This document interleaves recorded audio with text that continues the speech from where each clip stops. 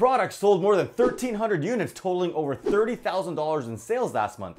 And surprisingly, I found it in less than 10 minutes while making this video. And in a minute, I'm gonna show you exactly how I found it and why, almost after seven years of selling on Amazon, I've switched from one of the top product research tools on the market to another. It's no surprise that the two biggest players in the product research space today are Helium 10 and Jungle Scout, and they've been going head to head like Pepsi and Coke. But unlike the kings of fizzy drinks, choosing one shouldn't be based on personal preference, at least not for me.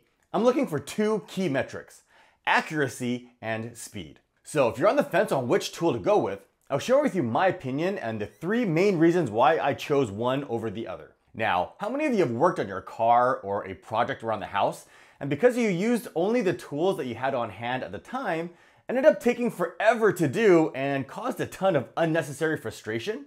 And the whole time you knew that the project would have been done so much faster and the final result would have turned out way better if you only had the right tools? So reason number one for me switching to Helium 10 from using Jungle Scout is the speed and accuracy of their product research tools, and let me show you what I mean. When analyzing a product idea, it's crucial that you follow a proven strategy and analyze the correct data so that you can avoid the three biggest mistakes that beginners make.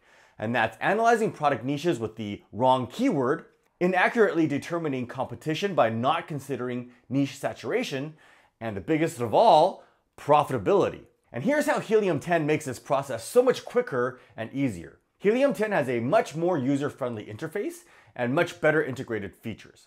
For example, one of the main tools that I use is called X-Ray. This is the Chrome extension that pulls up a ton of data for a product niche like you can see here.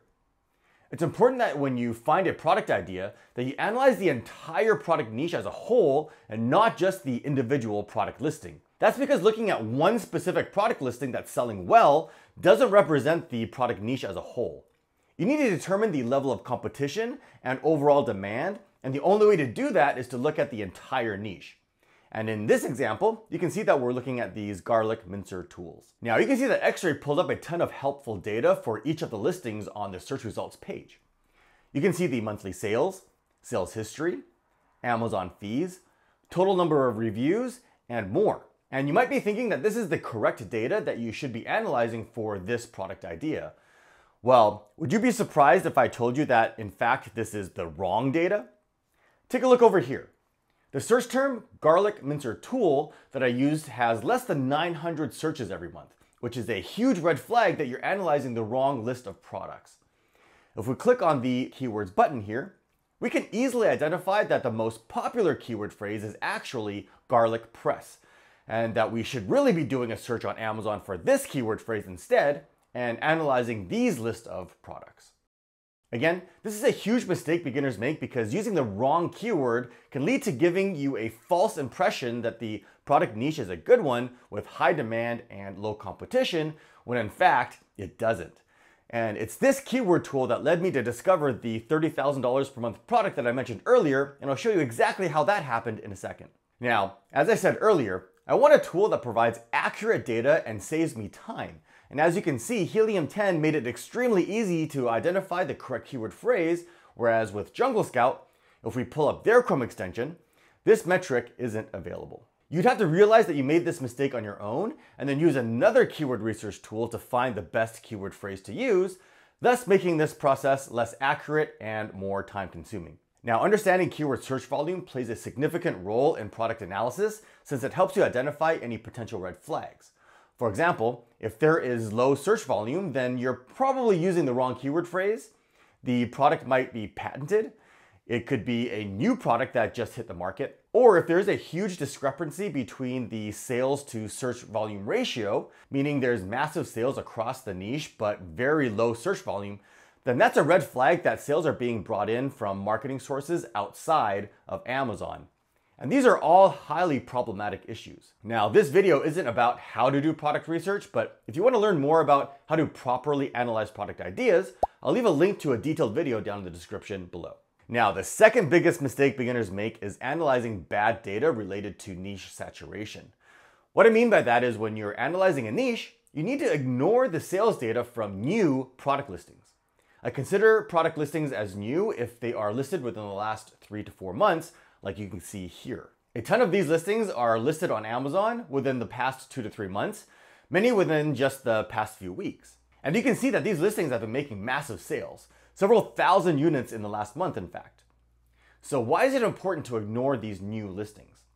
Well, if you think about it, a new listing needs to gain traction in order to get ranked at the top of the search results. And the best way to gain traction is to sell your product at a really competitive price and offer huge discounts and promotions. Therefore, these sales numbers do not represent what the true sales are since the seller probably isn't making any money on these sales. That's why you must only consider the older listings where the sales are organic.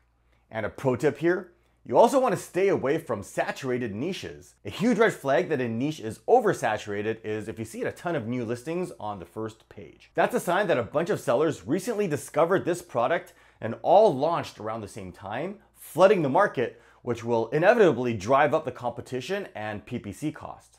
And with X-Ray, you can easily identify these new listings, checkmark them, and actually delete them from the list. And on that note, the third biggest mistake beginners make is not verifying if the product is even profitable. Just because a product is making sales every month doesn't mean that it's making money, and Helium 10 makes it easy to check. For example, let's say I'm interested in these yoga balls. You can click here on Show Full Details, then click on Estimate Net Margin, and Helium 10 will pull up the profitability calculator. It pre-fills in all the product details like the sale price, product dimensions and weight, estimated costs, the Amazon fees, and the net profit down here, which in this case isn't too bad. But what makes this tool extremely useful is that it's right at your fingertips, and you can change any of these parameters. For example, if I know that I can add value and raise the price, I can change that here. I can see how different size packaging affect the fees. And back on X-Ray, I can click on the Find Suppliers on Alibaba button here to get a more accurate cost estimation. For example, it looks like I can get this exact same yoga ball from this manufacturer for as little as $1.91 here. And if we go back and plug in this figure into the calculator, we can see that we can increase our margins by almost 50%. And of course, if by using the calculator we find that the product isn't profitable, then perhaps this isn't a good product idea to pursue. But just as a reference, Jungle Scout doesn't have the ability to search on Alibaba from their Chrome extension tool, but they do also have the calculator as you can see here. However, it doesn't estimate the costs or give you a detailed breakdown based on the time of year like Helium 10 does. Okay, so with that said, another reason why I switched to Helium 10 from Jungle Scout is the product database tool. On Helium 10, this is called Black Box, and it lets you set specific filters to find a list of products that meet certain criteria or research strategy that you're implementing. For example, you can choose specific categories to include or exclude, review ratings, BSR, a price range, revenue, monthly sales, and more. And although Jungle Scout has a very similar product database tool, as you can see here, it doesn't offer as many filters as Blackbox. Specifically, Jungle Scout doesn't have this entire set of filters here under competitors, as well as these filters here. And I exclusively use these extra filters to make product hunting faster and easier by adding a list of excluded keywords and brands here so they don't appear in the search results, saving me time. And like I mentioned earlier, I also want to avoid looking at new product listings, so I can completely disregard them with this listing age filter. And this is exactly how I accidentally discovered the $30,000 per month winning product in less than 10 minutes. I was here on Blackbox on the keywords tool and I entered some common filters that I use so I can find some example products to use in this video. Well, this product caught my attention. Camper tie downs. I don't know what that is, so I did a quick search on Amazon and although this product idea didn't turn out to be a good one, these spiral camping tie downs caught my eye. So I did a search for that and noticed right away that the search volume was a whopping zero. So I clicked on the top keywords button and screw in tent stakes, which has nearly 4,000 searches per month, seemed to be the much better keyword phrase to use, so I popped that into the search. Open up X-Ray and boom, check this out. These products have an excellent price point at $15 or more, are selling really well, and best of all, almost all of the top listings have less than 300 reviews, which means this is a very low competition, high demand product niche. Can you see how powerful and easy to use Helium 10 is? Now, before I show you the exact product I analyzed and how I determined how much money it actually makes every month, let's talk about how you can get started with Helium 10, how much it costs, and which plan I recommend you get. As you can see, Helium 10 offers three plans for you to choose from. There's also a free trial option. By signing up, you can use Helium 10 for free, but on a very limited scale, and that's the same case with the starter plan. With these two options, you can only use Blackbox, which is for product research, and Magneto and Cerebro, which are the keyword research tools, only a few times each day, which is far too limiting, so I don't recommend these two options. The best option is actually the Platinum plan at $99 a month. It gives you all of the features that you'll need to get started and includes all of the tools that I personally use with no limitations. You also get access to all of these extra features and tools listed here. Now, compared to Jungle Scout, you can see that they basically offer three plans as well. And although the prices are similar, their starter and growth accelerator plans are also limited when compared to what Helium 10 offers. Helium 10's Platinum plan basically falls between Jungle Scout's Growth Accelerator and Brand Owner plans. However, in order for you to get the same features that the Helium 10 Platinum plan has, you'd have to get Jungle Scout's Brand Owner plan, which is double Helium 10 at $199 a month. So value for money, Helium 10 is a far better option. And to help all of you out, I worked with Helium 10 to get a huge discount for my community.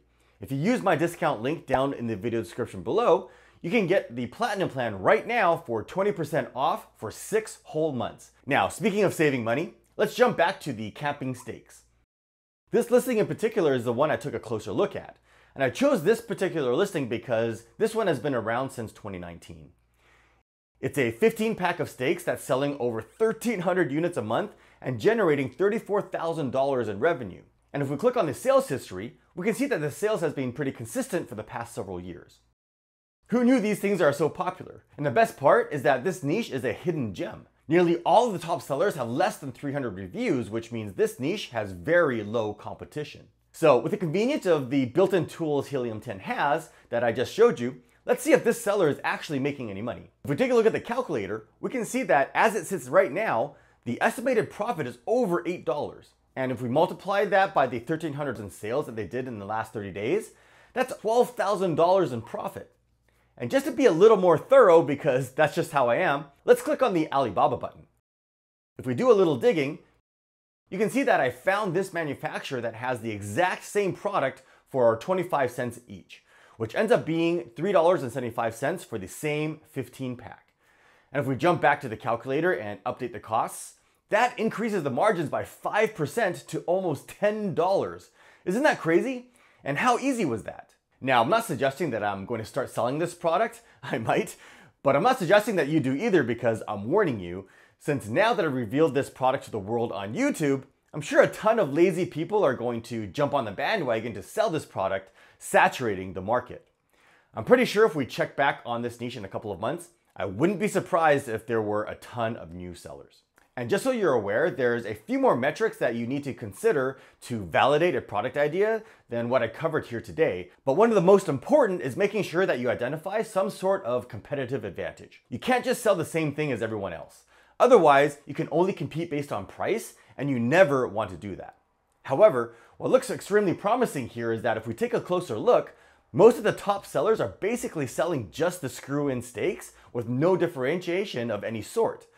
And they're all doing over $10,000 in sales every single month. So if you can improve this product somehow, add more value, you can dominate this market. And again, I found this product basically in real time using Helium 10. So to thoroughly validate this product idea using Helium 10 involves analyzing several more metrics, such as seasonality, brand domination, the ability to differentiate, Amazon compliance and restrictions, and much more. And this video right over here will show you exactly how to do that.